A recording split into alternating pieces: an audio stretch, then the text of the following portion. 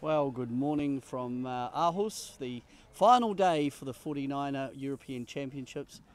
And it's been quite a week, hasn't it? And uh, just hope the sea breeze cranks in. It's warm today, so that's a good sign for the finals. Hopefully the sea breeze comes in a little bit sooner, but it looks like it's going to be another day for the uh, the light winders.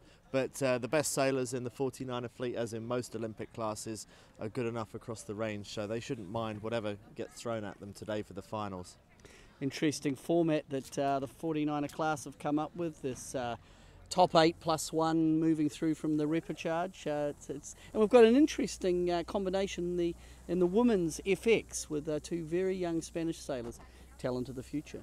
Yeah, 15 and 16 year olds. It's just unthinkable that you could get into a boat like the 49er. I was, I was double the age when I started, so they're getting in really, really young now. But uh, there's so much experience to pass on, so they, they learn the basic skills of 49er sailing a lot quicker than we used to. But in the 49er for FX, uh, we looks like it could be um, the hometown that uh, could end up with a, a European champion yes, they, they look like they've got the skills to stay ahead. And um, yeah, uh, Ida Nielsen, uh, Nielsen and Marie Olsen, yeah, looking like uh, the the form boat going into today. They're your pick. Uh, I don't know enough about the girls, and I, I, I suspect they don't know much about each other at, at, this early stage of FX racing. There's only been six months of it, but ba- based on the lead that they've got and the way they've sailed so far this week, you'd have to say so. I've been impressed by the big smiles on the faces of uh, the, the FX group you know, it's their first year, but um, wow, if you're if you're a young person looking to sell something exciting, looks good. Yeah, they obviously love it, don't they? Yeah. On the men's side, uh, we saw great racing yesterday, late in the afternoon, and uh, Fletcher from uh, GBR they they looked strong, but then the Kiwis uh, took out the last one.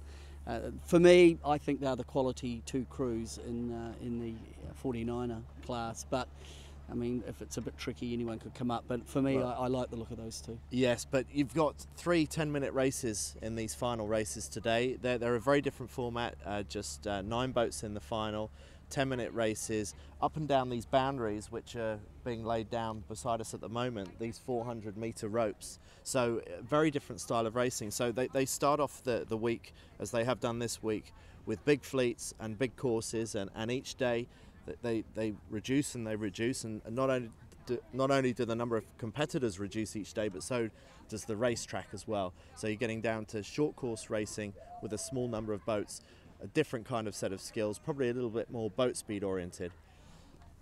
Yeah, well, it's tricky. Look, I, I think a, another feature for me coming here, uh, A, I've, I've loved Denmark coming back here after many years, but also there's a lot of innovation in the class. Obviously, the, the class itself is uh, you know high speed skiff, but the boundaries uh, and uh, I think the bibs that have been used, uh, best starter, fastest boat downwind, just adds a bit of flavour, doesn't it? So the new thinking. Maybe they are the Facebook generation.